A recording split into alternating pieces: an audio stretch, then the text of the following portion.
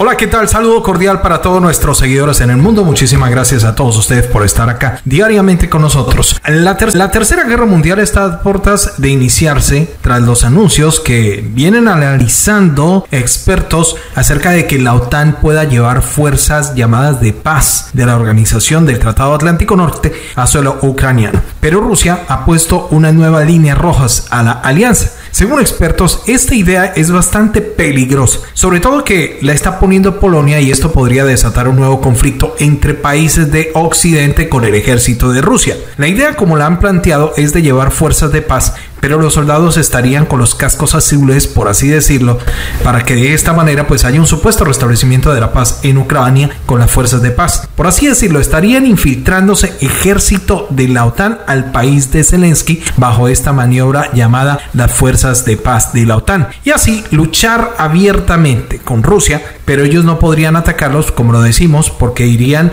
pues vestidos como fuerzas de paz, pero Rusia ya advirtió recientemente que de darse este paso peligroso de la OTAN, Rusia lo da como un anuncio de la Tercera Guerra Mundial y efectivamente inmediatamente se convertirían en objetivos militares por parte de las fuerzas rusas donde serían bombardeados y esta situación se daría automáticamente también donde se activaría el código 5 de la OTAN, pues es un ataque a las fuerzas regulares de la organización y esto comenzaría o daría pie a una defensa de la OTAN también en contra de Rusia. Esto, mejor dicho, escalaría la guerra a nivel mundial y esperamos todos que por el bien del mundo entero, por el bien de Polonia, por el bien de Rusia y de todo el mundo, la OTAN y Polonia analicen muy bien las cosas para no llegar a un conflicto de esta envergadura. Se los digo, da susto pensar en esto. Y más bien, deberían de sentarse a negociar para que el conflicto pare en Ucrania, que es una idea bastante delicada y provocadora la que está proponiendo Polonia a la OTAN. Recientemente dijeron que pues pretenden llevar los soldados de la OTAN y en la práctica esto daría que irían a luchar abiertamente con Rusia. Así estén con los cascos azules. Y las tensiones pues por supuesto aumentaron con el reciente anuncio por parte de la OTAN con la llegada de Joe Biden a Polonia de que está lista la OTAN para darle despliegue a un escuadrón eh, para ir al flanco oriental de Europa con más de 140 mil soldados, comparado con el millón de soldados que tiene desplegado Rusia en el este de sus fronteras y más los que están luchando en Ucrania. De darse el despliegue oído no en Ucrania todavía, pero sí se habla de Bulgaria, Rumania, Eslovaquia y Polonia, países que están fronterizos con Ucrania, es decir, la OTAN intentaría acorralar a Rusia. Vale la pena aclarar que son 100.000 soldados que pretende llevar Estados Unidos y los otros son 40.000 soldados europeos que se llevarían al flanco oriental de Europa. En pocas palabras, los expertos en geopolítica internacional ya lo venían advirtiendo de que Estados Unidos estaba necesitando una guerra sobre todo para poner fuerte al dólar. Necesitaban generar un conflicto y esto pues de seguir provocando a Rusia las cosas se ponen feas porque ya la guerra escalaría en el territorio europeo. Escuchen este dato, muchas encuestas que se vienen realizando en territorio de Estados Unidos muestran desfavorabilidad en las encuestas para Joe Biden y si Biden pues se pone desesperado por aumentar su popularidad en la política de Estados Unidos y las encuestas dicen que Estados Unidos, o sea, muchos mm, seguidores, no seguidores de Biden, pero que optan porque Estados Unidos deberían de intervenir en la guerra con Ucrania, pues Biden vería esto como una oportunidad de crecer en la confianza del pueblo norteamericano. Y si esto se diera, Biden estaría pasando las líneas rojas con la OTAN y esto nos estaría llevando a una guerra que no se necesita. Bueno, la necesitan la élite internacional, los que están con Biden para empobrecer las naciones. Es decir, Rusia le está advirtiendo mucha atención a la OTAN que pasar las fronteras de Ucrania eso sería una línea roja y muy peligrosa. Según el ministro Lavrov, podría desencadenar un nuevo conflicto militar y esto también llevaría a que Rusia comience a atacar a los países de la OTAN. Pero lo más complicado es que recuerden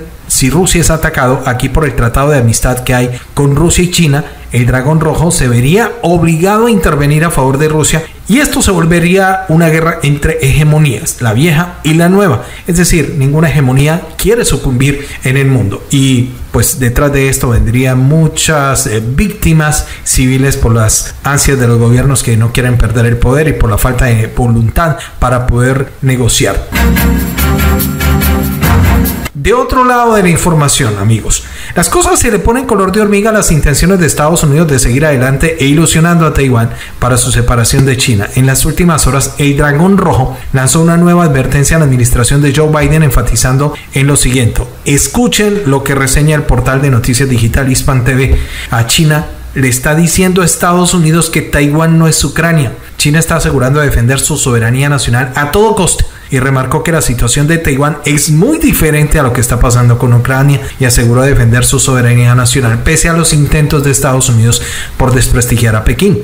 Citamos las siguientes palabras del gobierno de Xi Jinping y fueron expresadas por un portavoz en las últimas horas. Taiwán no es Ucrania, la determinación y la voluntad del pueblo chino de defender la soberanía nacional y la integridad territorial son inquebrantables, ha dejado claro el lunes el portavoz del Ministerio de Asuntos Exteriores de China, Wang Wenbin, en una rueda de prensa. La razón de esta se debe a que las cuestiones entre Kiev y Taipei son diferentes, han asegurado para luego señalar que la isla es parte integral del gigante asiático, mientras el país europeo es un estado soberano. Asimismo, el vocero denunció el uso de la situación de Taiwán para desprestigiar a Pekín por parte de Norteamérica, país que buscaría una nueva crisis en el estrecho de Taiwán a fin de lograr sus objetivos geoestratégicos y económicos a todo costo del bienestar de la población de ambos en el estrecho. China vuelve a afirmar que la situación de Taiwán es puramente asunto interno y alerta que cualquiera que cause problemas escuchen bien, va a sufrir las peores consecuencias. Esto lo dijo en las últimas horas Juan Wenbin. Refiriéndose a lo que está pasando en Ucrania, el portavoz chino dijo e hizo hincapié en volver lo antes posible a los acuerdos de Minsk suscritos para poner fin en el conflicto en la región del Donbass, citado en este territorio ucraniano como la única forma de resolver la crisis. China también advierte a Estados Unidos de que no le eche leña al fuego en Ucrania y de acuerdo con Wang Wenbin, Kiev no debe ser una frontera para la confrontación de Asimismo, llamó a las partes a buscar el diálogo y a consultar con el objetivo de llegar a una solución para salvaguardar la seguridad. Pekín y Washington están en estas tensiones, especialmente por Taiwán. Asimismo, China rechaza los esfuerzos por parte del gobierno de Joe Biden de fortalecer el apoyo militar a las fuerzas taiwanesas, advirtiendo que van a tomar medidas necesarias para salvaguardar la seguridad y la integridad territorial. En este contexto, el portavoz del ministerio chino, eh, Ku Jian, subrayó el jueves que la cuestión de la isla es un asunto interno del gigante asiático, razón por la cual no va a tolerar ninguna intromisión extranjera y este es el mensaje directamente que le envían al gobierno de Joe Biden. Pero mucha atención porque se está alejando eh, de Biden eh, el presidente de Alemania, Olaf Scholz. Pues esa es la pregunta que muchos expertos se están haciendo por la reciente declaración del presidente alemán Olaf Scholz, tratando de rectificar un poco lo que dijo el presidente de los Estados Unidos. OTAN no busca derrocar a Vladimir Putin, según Hispan TV. Alemania asegura que la OTAN no busca derrotar a Vladimir Putin y descarta la posibilidad de involucrarse militarmente en el conflicto con Ucrania. Ese no es el objetivo de la Organización del Tratado Atlántico Norte, por cierto, tampoco será el objetivo del presidente estadounidense Joe Biden, explicó el domingo el canciller alemán Olaf Scholz en una entrevista con la emisora ARD.